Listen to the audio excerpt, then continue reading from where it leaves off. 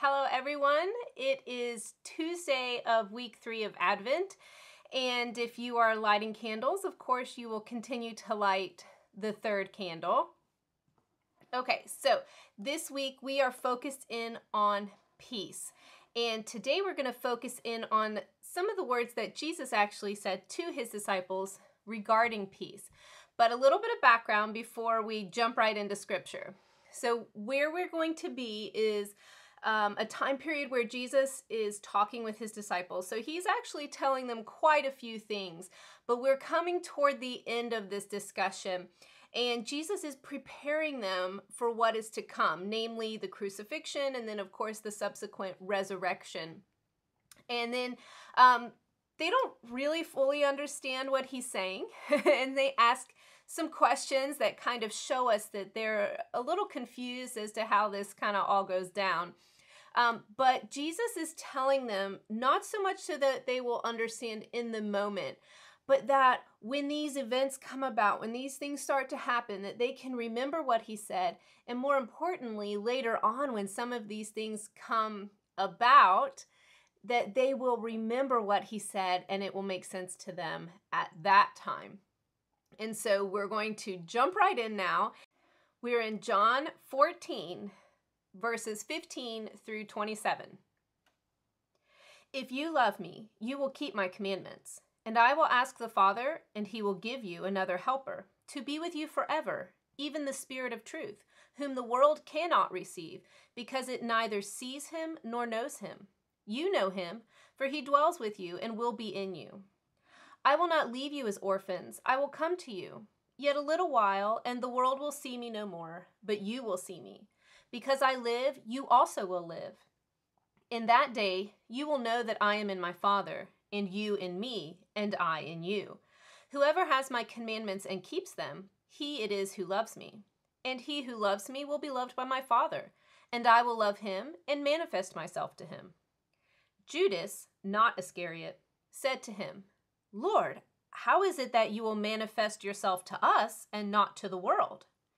Jesus answered him, if anyone loves me, he will keep my word, and my Father will love him, and we will come to him and make our home with him. Whoever does not love me does not keep my words, and the word that you hear is not mine, but the Father's who sent me. These things I have spoken to you while I am still with you.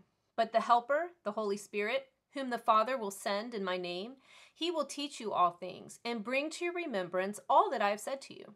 Peace I leave with you, my peace I give to you. Not as the world gives, do I give to you.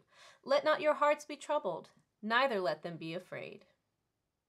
Okay, so there's a lot in there, but we're going to focus in on peace. Now, as I said before, Jesus is talking to his disciples. Now, he is here imparting to them that they will have the Holy Spirit.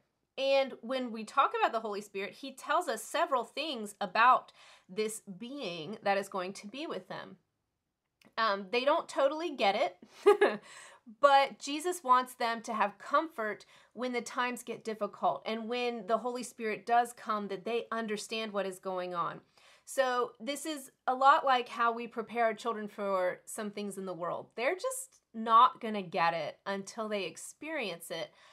But we tell them as much as we can in advance so that hopefully when it happens, they get it and they make the right decisions, right? And Jesus is doing something similar here where they don't totally get it, um, but he knows that uh, when these things start to happen, they're gonna they're gonna get it, and he wants them to have peace and not be uh, confused and upset.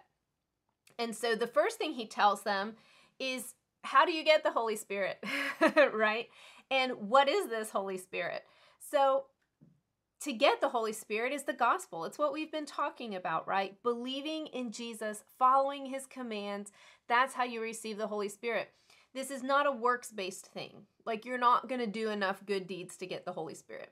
Jesus literally says, I will ask the Father, and the Father will send him. Literally. Now, how does Jesus know to ask the Father? Well, you believe in him and you love him, right? He says, He who loves me and obeys my commands, that is the person. And so it's not saying you have to be a perfect person, it's saying you have to believe in him and follow him. And so that is what we're talking about here. And when you do that, when you become a believer, Jesus asks the Father, and the Father sends the Holy Spirit, and the Holy Spirit lives in you. Of course, this whole concept is very, very foreign to the disciples. and that's okay. They haven't had this yet, right? We know about this because we are post uh, resurrection, post Pentecost, when the Holy Spirit came um, on a, a lot of believers. So we have a lot more understanding of, of this than they obviously did. So, um, Jesus will ask the Father to send the helper. Now, he calls him the helper. He gives us several clues as to who the Holy Spirit is and what the Holy Spirit does. Now, he does and is a lot more than what's right here, but for today, he's the helper and he's known as the Spirit of truth. Okay.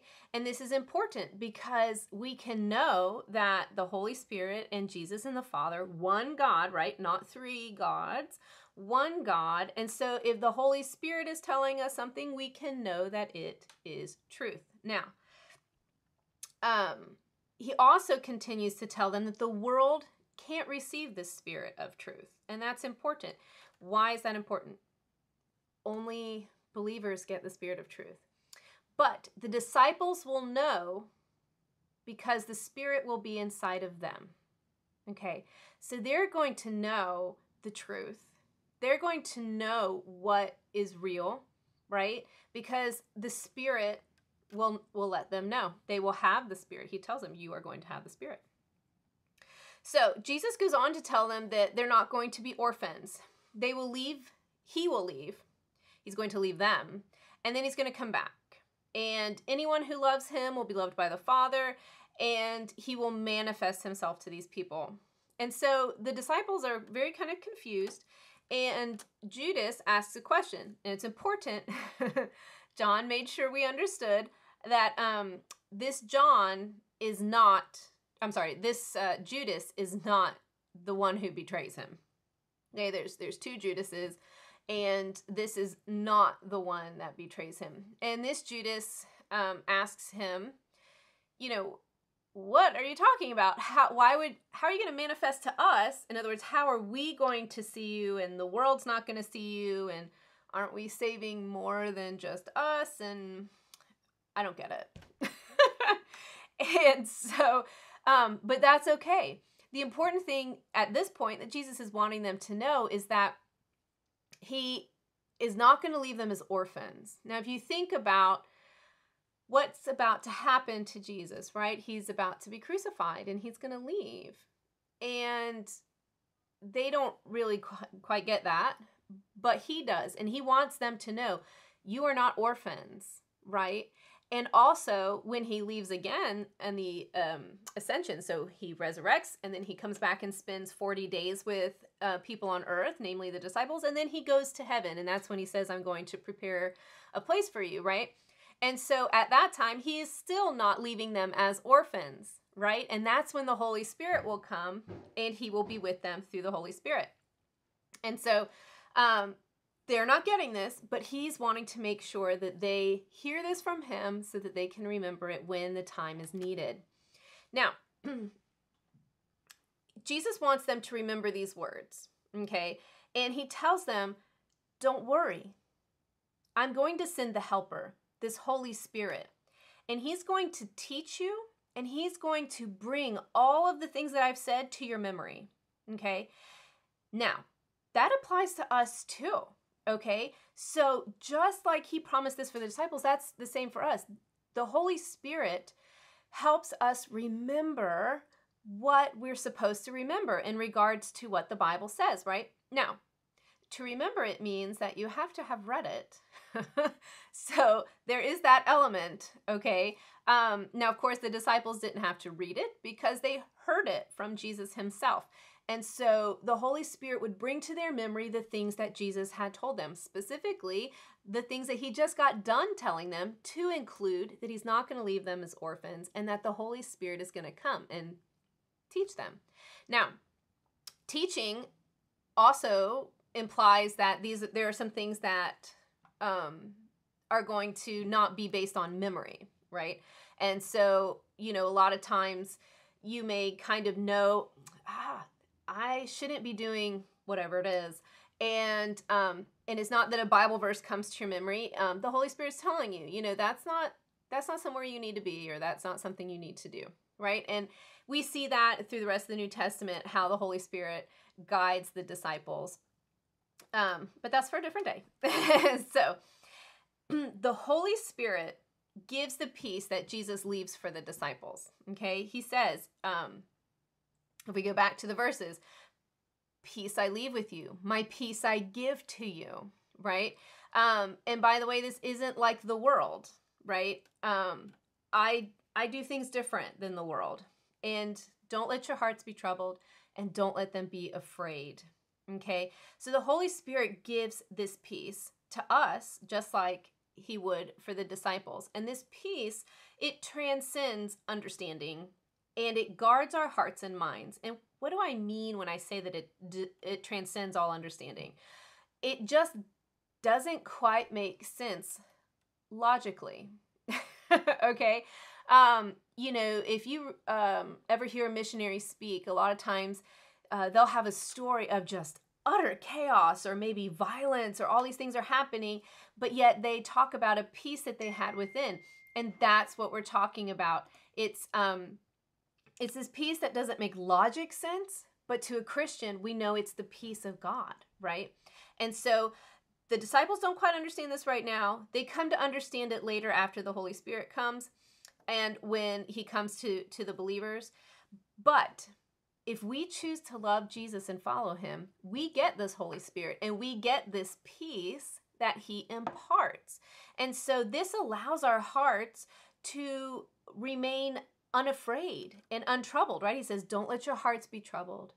Don't be afraid, right? We can have this peace. This is how martyrs can march to their death, knowing that they're going to go to heaven. And even though it's a scary thing, they have peace within. And um and that's the peace that we can have.